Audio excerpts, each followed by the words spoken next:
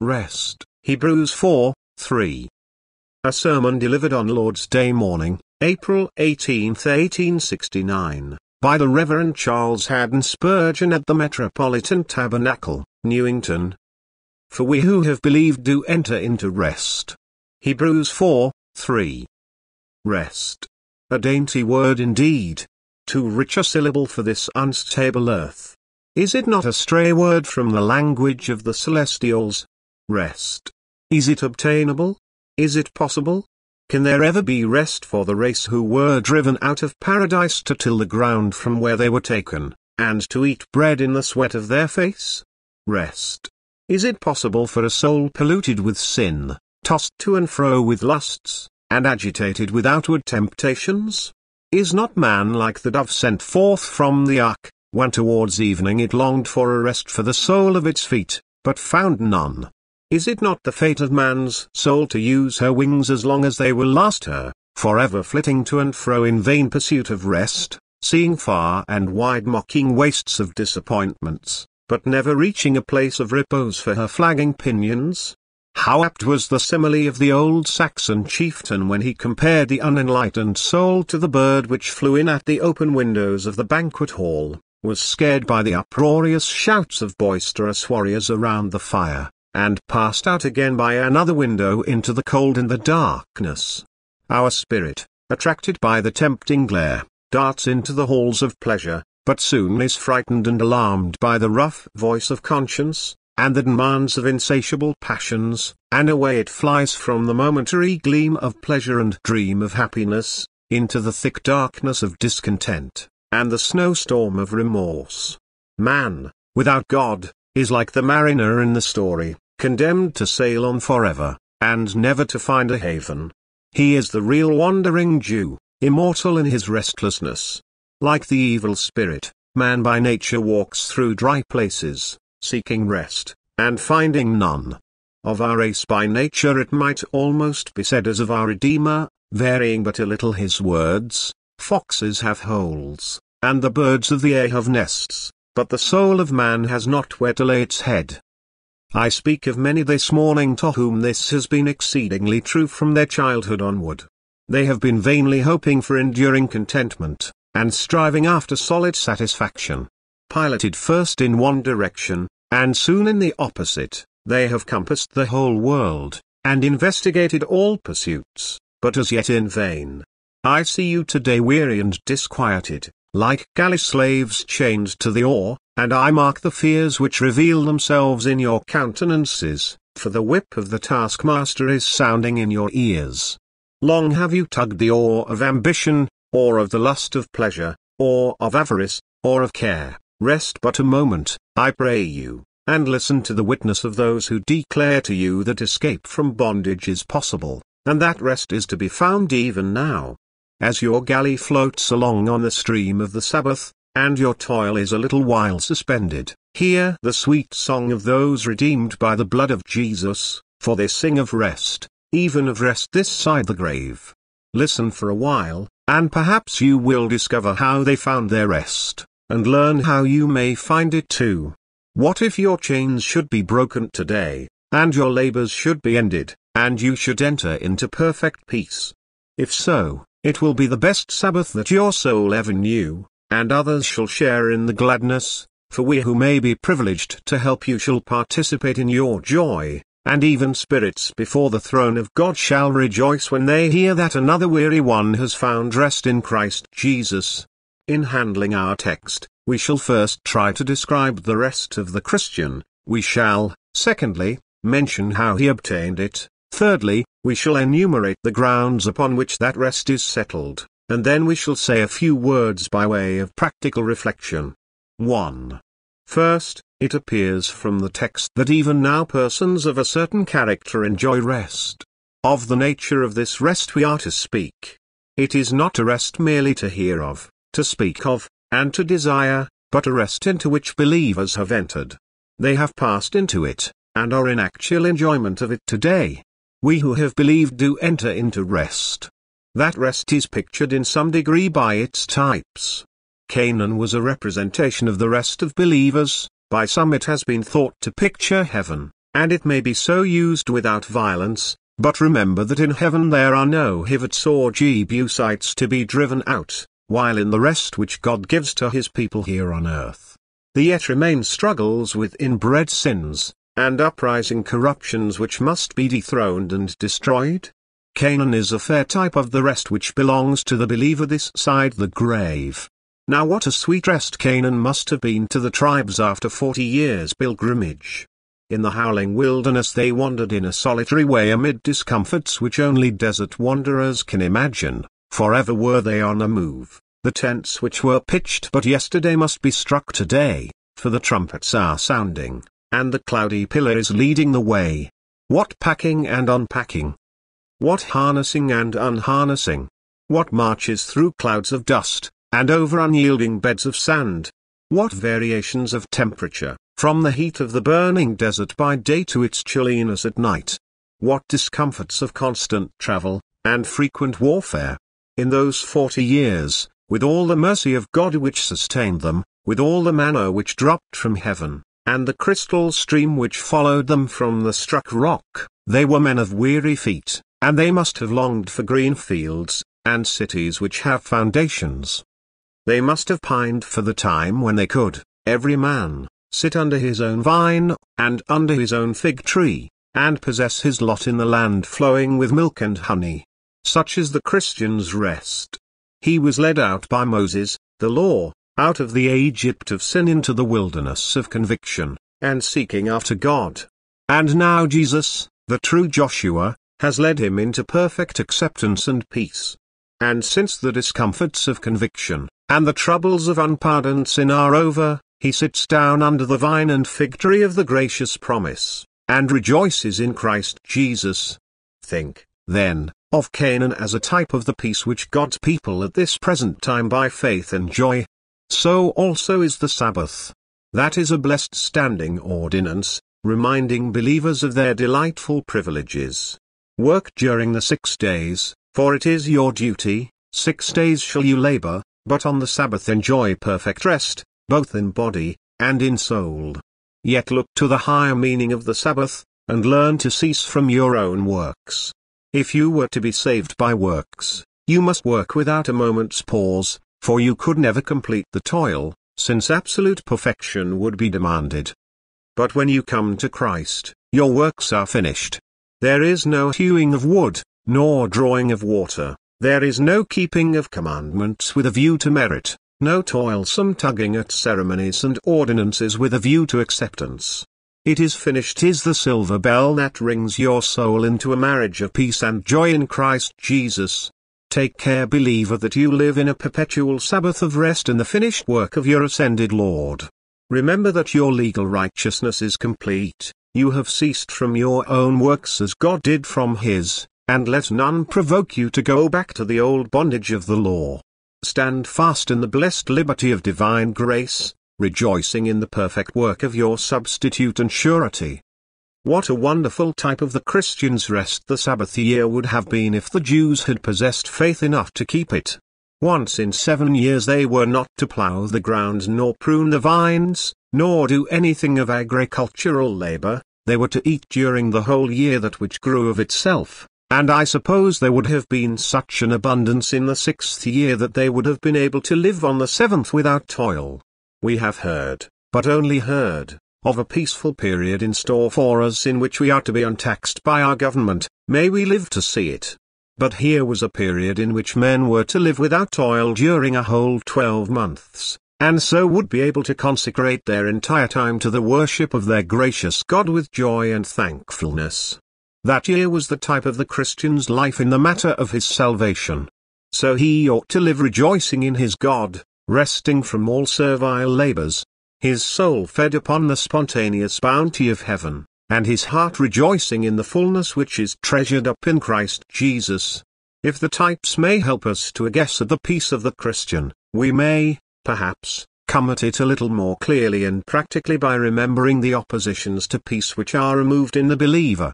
Can there ever be rest to a heart which has sinned? Answer, yes. The believer rests from the guilt of sin because he has seen his sins laid upon Christ. his scapegoat, and knowing well that nothing can be in two places at one time, he concludes that if sin were laid on Christ, it is not on him, and thus he rejoices in his own deliverance from sin, through its having been imputed to his glorious substitute.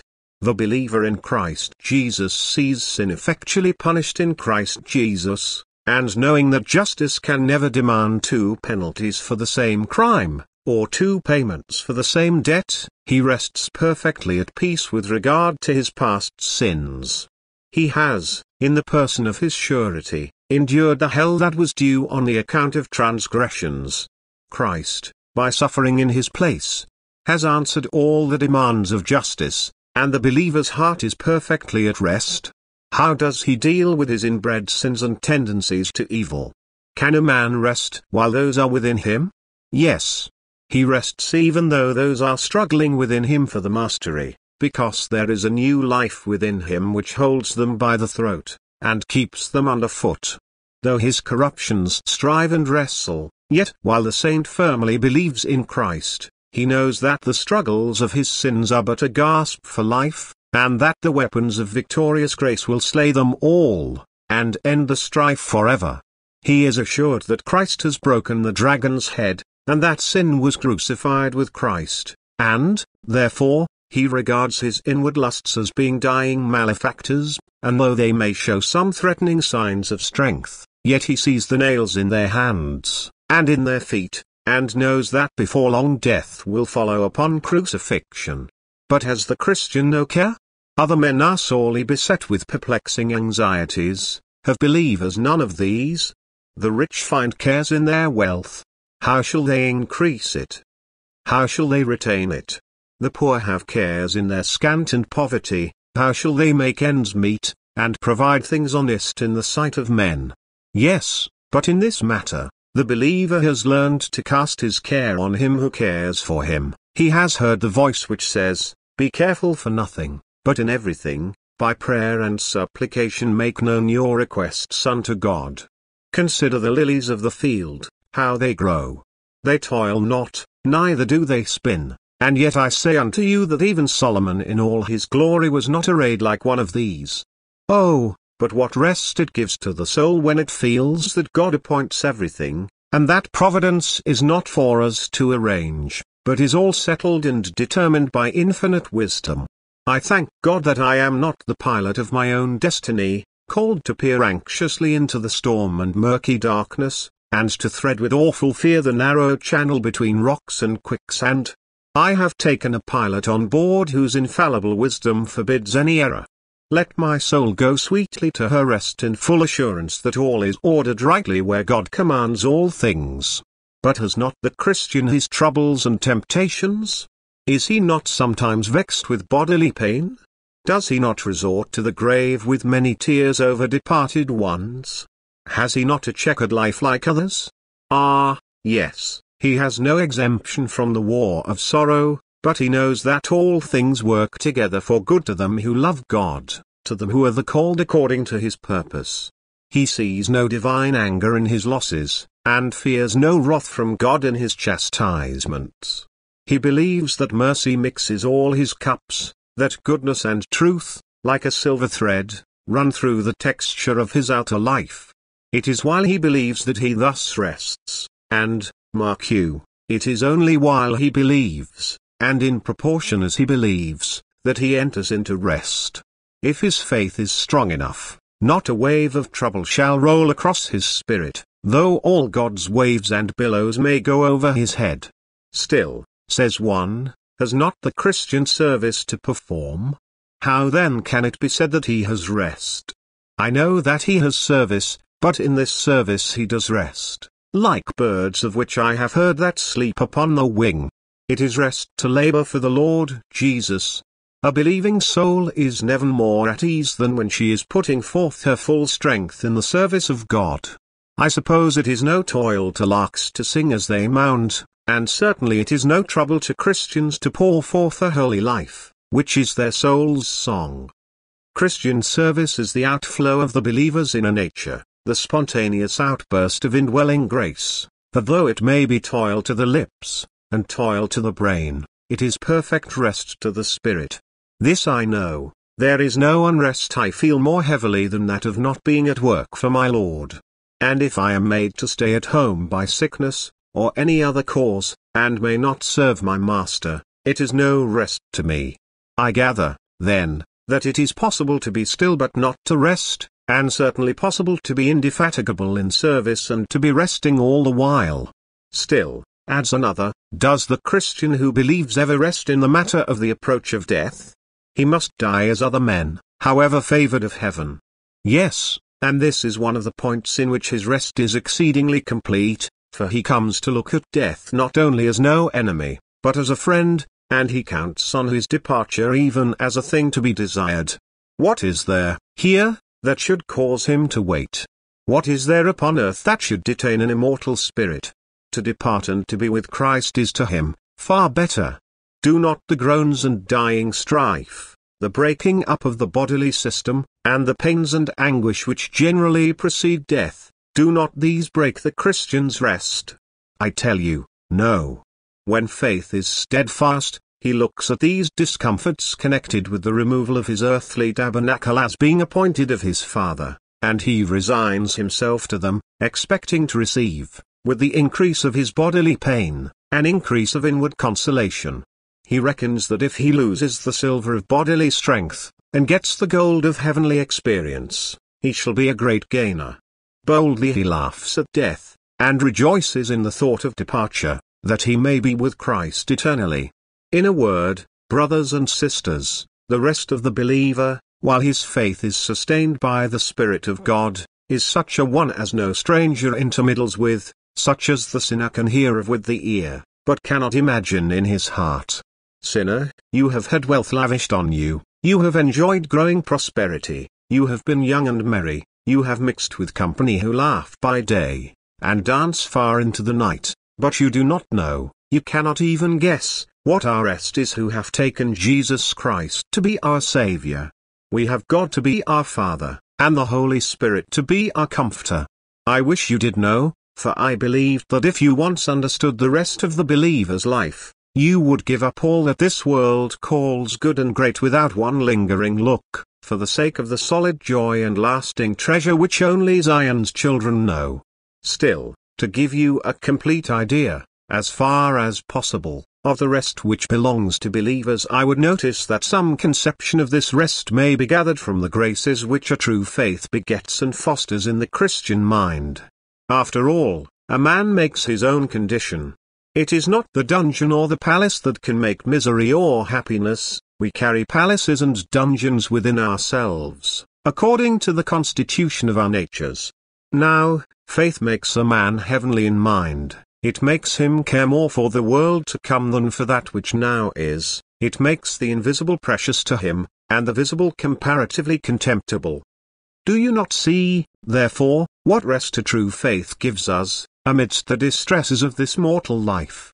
You are very poor, but if you set small store by riches, poverty will not distress you. If you have learned to consider spiritual things as the better part, you will not pine because the waters of the nether springs are scant. Have you ever heard of the Persian king who gave his various counselors different gifts? To one he gave a golden goblet, but to another a kiss, whereupon all the counselors of the court were envious of the man who had the kiss, and they counted the goblets of gold and jewels, and caskets of silver to be less than nothing as compared with that familiar token of royal favor. O poor but favored saints, you will never envy those who drink golden cups of fortune if you obtain the kiss from Jesus' mouth. You know that his love is better than the entire world beside, and the enjoyment of it will yield you the richest rest. How can you feel the miseries of envy when you possess in Christ the best of all portions? Who wants cisterns by the river? Who cries for pebbles when he possesses pearls? The grace of faith, moreover, works in us resignation. He who fully trusts his God becomes perfectly resigned to his Father's will, he knows that all God's dealings must be right, since the Lord is much too wise to err, and much too full of loving kindness to deal harshly with his people. This resignation is another source of rest to the spirit. The habit of resignation is the root of peace. a godly childhood ring given him by his mother, and he greatly prized it. But on a sudden he unhappily lost his ring, and he cried bitterly. Recomposing himself, he stepped aside and prayed, after which his sister laughingly said to him, Brother, what is the good of praying about a ring? Will praying bring back your ring? No, he said, Sister, perhaps not, but praying has done this for me. It has made me quite willing to do without the ring if it is God's will, and is not that almost as good as having it? Thus faith quiets us by resignation, as a babe is hushed in his mother's bosom. Faith makes us quite willing to do without the mercy which once we prized, and when the heart is content to be without the outward blessing, it is as happy as it would be with it, for it is at rest. Besides, faith works humility, dependence upon the merit of Christ, and a sense of pardoned sin, work in us a low esteem of our own merits and rights. Then we do not strive after mastery. If others think ill of us, it does not break our heart, for we say, if they knew me, they might think still worse of me. If some do not respect us as we deserve, we make small account of that, for we think it a little matter for such poor worms as we are to be respected, or the reverse. And if there are some who speak evilly of us, we take it joyfully, because we never thought ourselves worthy to be exempted from reproach.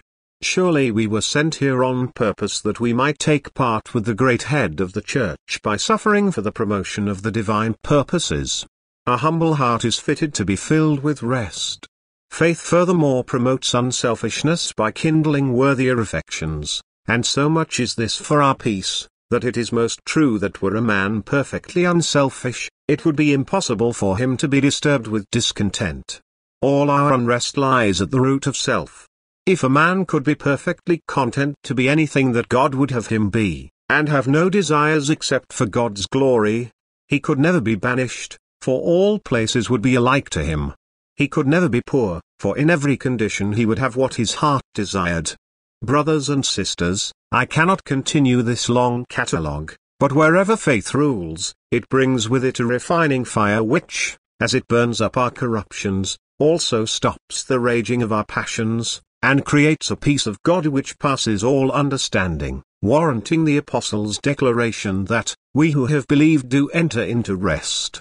Faith tones us down into little children, it casts our heart in a fresh mold, it brings us into harmony with the universe, and we who were out of tune with God and nature are once more reconciled to the Divine One, His purposes and providences.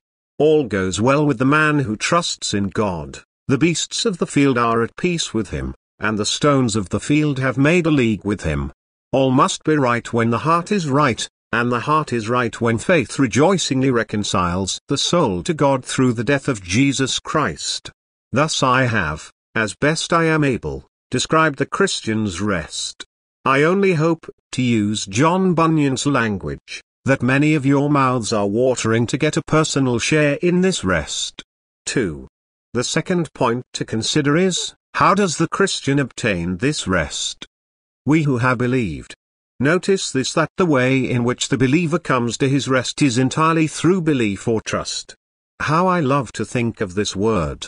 If the apostle had said, we who have been eminently consecrated do enter into rest, I could have wept over the text with shame and dismay.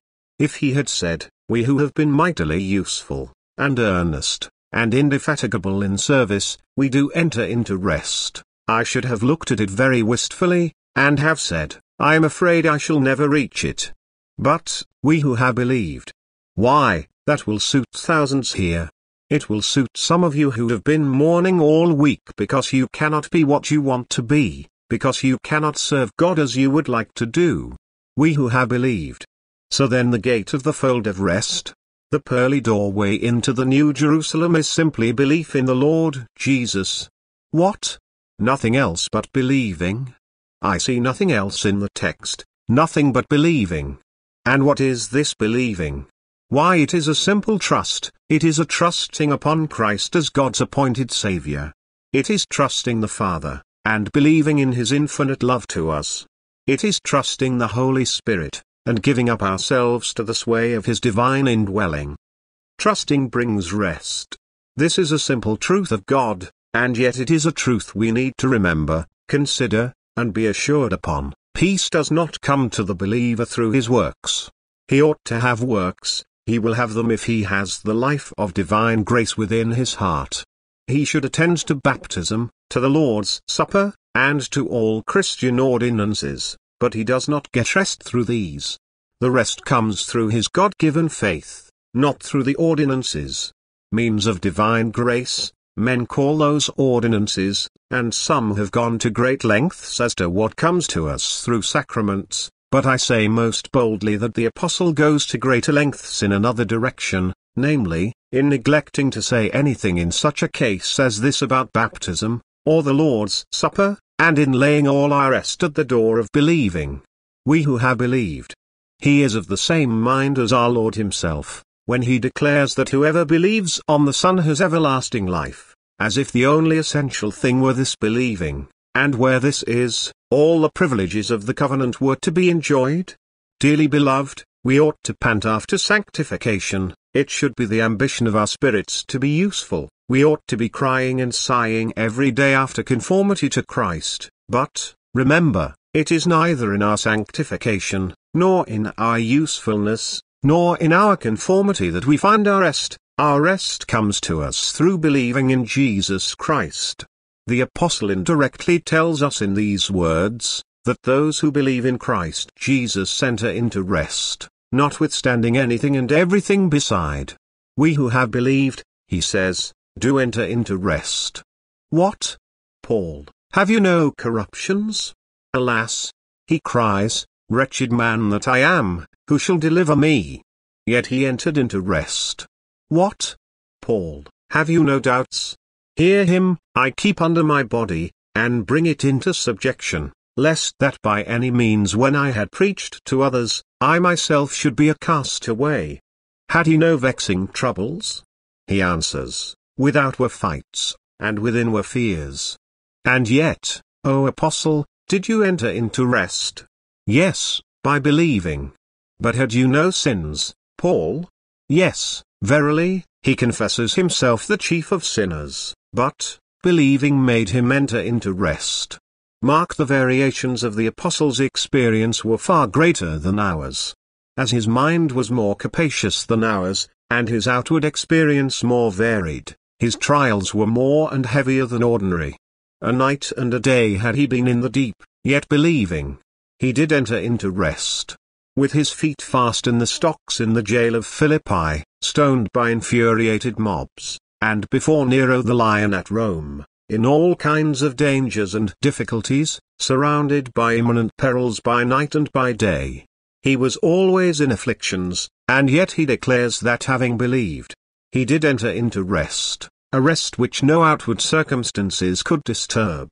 Oh, blessed lesson! My soul, ask for grace to learn by experience the blessed fact that faith, altogether by itself, and it alone can give you rest. When the pillars of heaven tremble, and the cornerstone of the earth is removed, faith can make the soul steadfast, and keep it confident.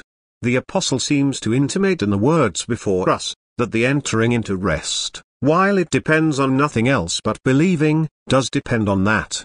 It is, we who have believed do enter into rest. Then why do not some professed Christians have rest? Why do we not have rest at all times? Answer, because faith is not always in vigorous exercise, and though the possession of a weak, but genuine faith brings to a Christian unfailing and unchanging security, yet it does not bring to him an abiding rest. Our faith must take God at His word, or it cannot taste the sweetness of His abounding peace. The child who cannot trust its parent cannot expect to have the freedom from care which is childhood's dear inheritance, but the more fully we can rest upon our Father's promises, the more we can feel that it is not for us to inquire how He can do this, nor how He can do that, nor when He will deliver us, but can altogether leave everything with Him, and lean on Him alone without a second helper. Then it is that our rest becomes profound and undisturbed. O you who are in the church, and yet cannot rest as you would wish, ask the Lord to increase your faith. O you who trust Him, but are often staggered, go again to the foot of the cross and look to him who suffered there, Look again to the precious sin-atoning blood. Look up once more into the great Father's face who accepts those who trust in Jesus, and you shall yet have the perfect rest which God gives only to believers. I cannot readily tear myself away from this point. My soul hovers about it, and lingers lovingly on it, because I am so anxious that you all should win this rest, and enjoy it today. I know that some of you are complaining of what you do or do not feel, but this is not to the point. My message, as contained in the text, proclaims no blessing on feeling, but on believing. Oh, can you not trust the Son of God to save you? Can you not believe the promise which is so freely given to all who will but trust in him? Have done, I pray you, with raking the kennel of your heart in search of golden consolations. Go to Christ, you shall get all your soul needs in him. Oh, it may be you are saying, I have not the rest I used to have, I will read the Bible more, and I will pray more, and I will go to a place of worship more often, and so on. All which is right, but none of these things will bring you rest. Rest for a soul is found in Jesus. The dove never found rest till she flew back to the ark, nor will you till you come back to Christ. Oh dear heart, all the sacraments in the world cannot give you rest. Nor can all the preachers that ever spoke give rest to your weary spirit. Come now with nothing to trust in of your own, come to the infinite mercy of God as treasured up in the once pierced heart of the well-beloved, and he will give you rest. Oh come, poor fluttered dove, fly into Jesus' bosom, because you cannot help it. Driven by stress of weather, put into this port of peace. Believe me, Jesus cannot reject you. It is impossible. Believe me, if you trust him, you shall have rest today, you shall have the same rest as those who have been fifty years his servants, rest through the blood of the atonement, which speaks better things than that of Abel. 3. So now the last point, which is this, what is the ground and reason of a Christian's rest?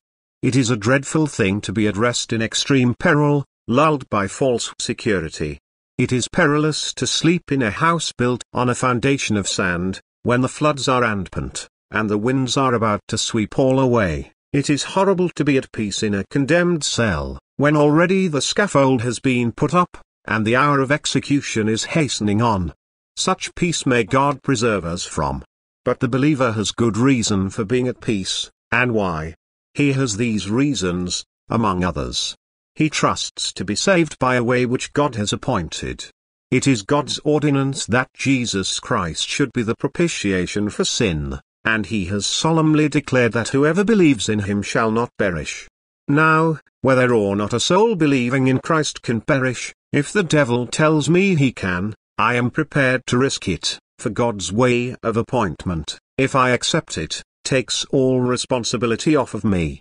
If I perish, God's honor is injured as well as my soul, but I know that God will stand to his appointment. He gave Christ for my salvation, I feel there is no risk in my resting on him, I do rest on him, and if God is true, my soul is safe, therefore I am perfectly at rest. Next, the believer rests in the person of Jesus.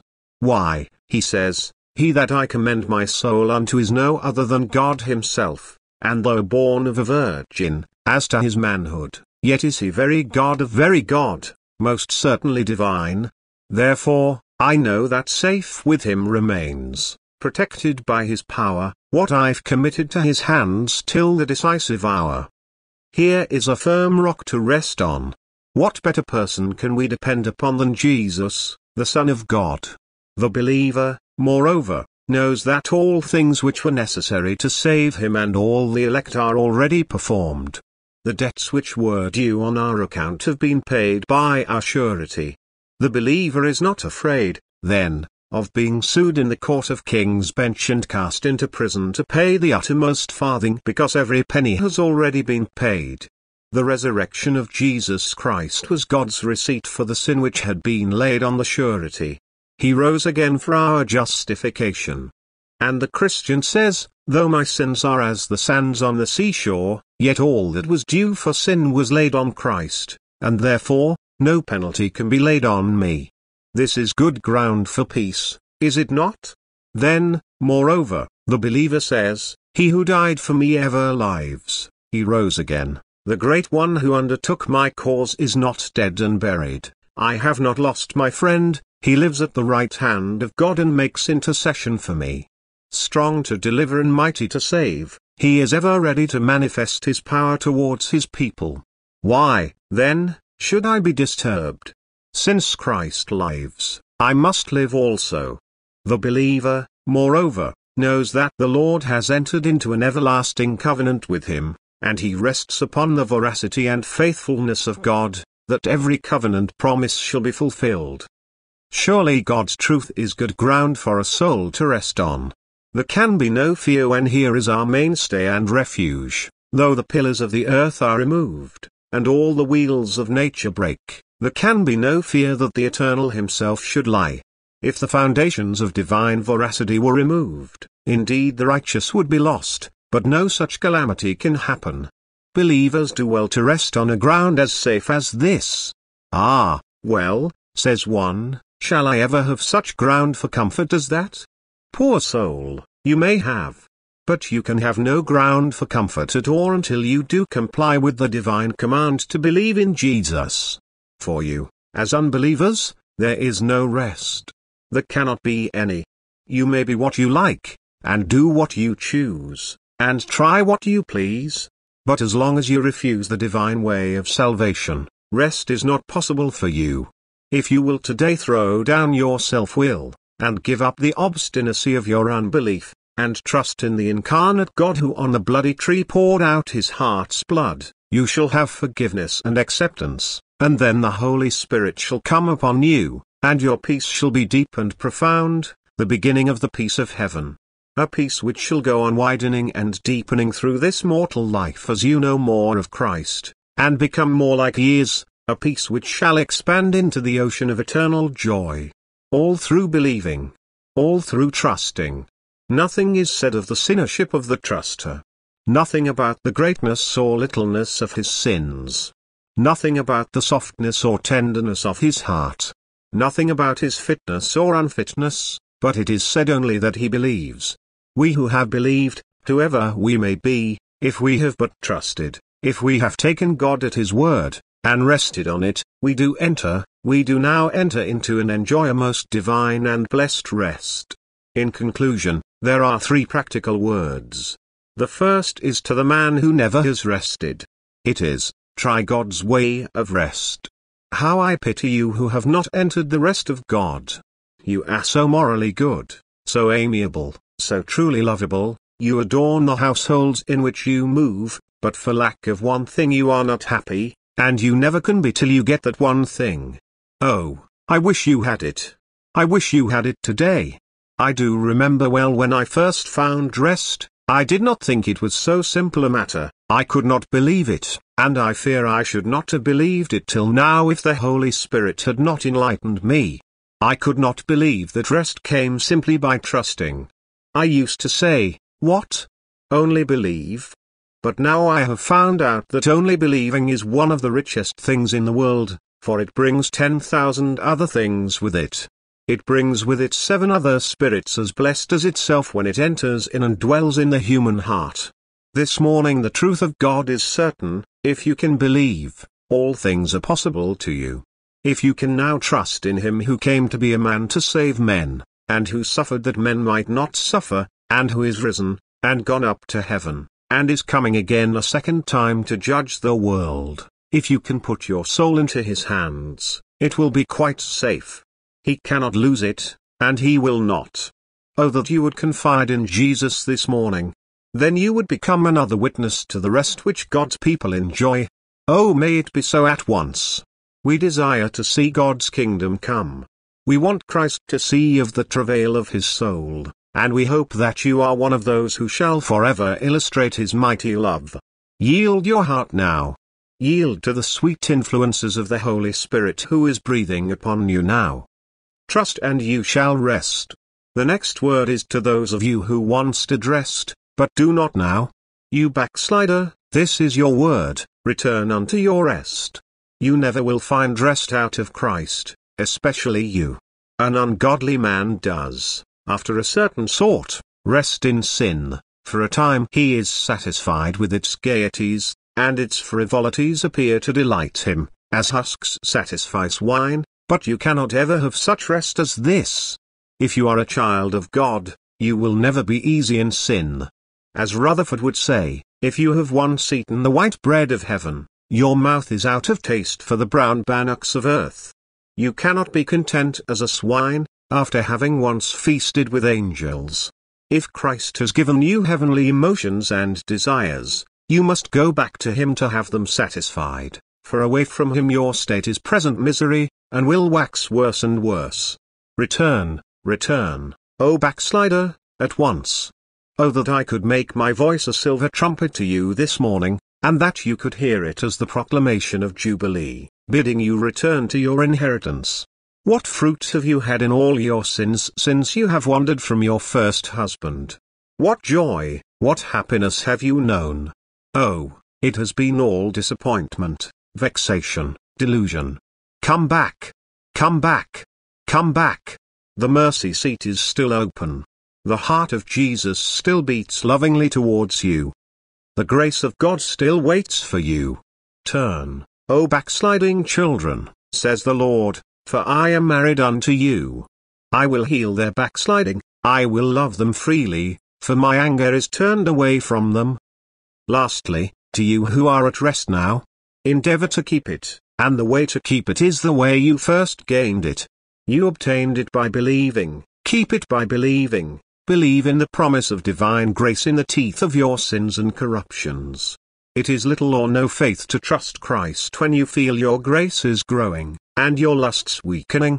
But, oh, it is faith when you feel burdened, and cast down with a sense of sin, to still say, I know that Jesus came not to save the righteous, but sinners. I know he came not to save men from some slight disease of sin, but he is a physician able to grapple with the most virulent and mortal of diseases. I, therefore, confide in him without a doubt, and if I were a bigger sinner than I am, I would still trust him.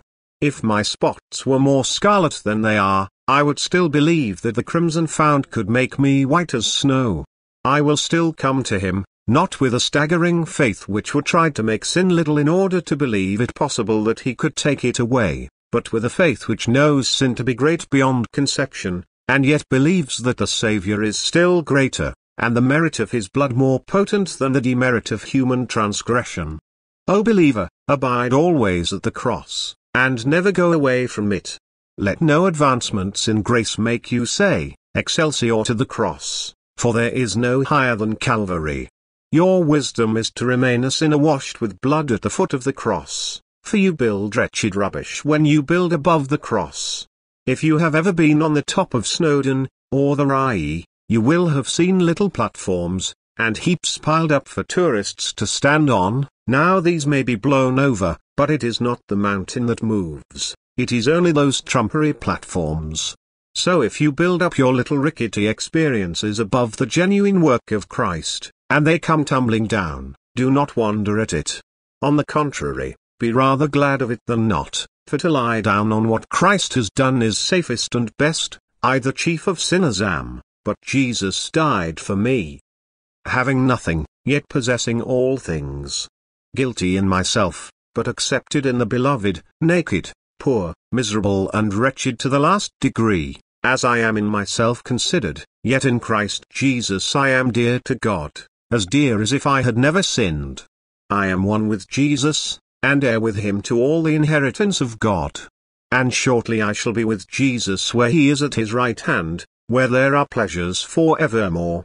The Lord bless you with such a faith, for Jesus' sake, Amen. faith, for Jesus' sake, Amen. faith, for Jesus' sake, Amen.